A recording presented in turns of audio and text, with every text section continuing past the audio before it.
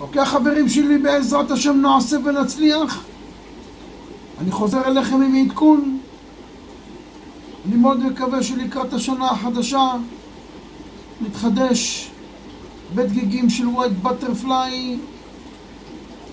אנחנו רואים עכשיו תחילת עלייה של הדגיגים על גוף ההורים, חלקם עלו, חלקם פה, חלקם שם למעלה בפינה, זה לא מריח לי כל כך טוב ואנחנו נצטרך פה לנקוט אמצעים וצעדים, בואו נראה, בואו נראה, בואו נראה מה מתקדם פה, אחרת אה, חבל, חבל, חבל, חבל.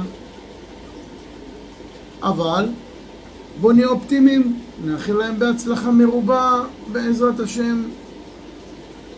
שיהיה לכולנו בריאות, אושר, שמחה, אהבה, אחווה. שנה טובה, ברכות טובות לשנה החדשה. השתבח שמו לעד של בורא עולם. הנה, בבקשה. אוקיי, בואו נראה, בואו נראה. בואו נראה. יאללה.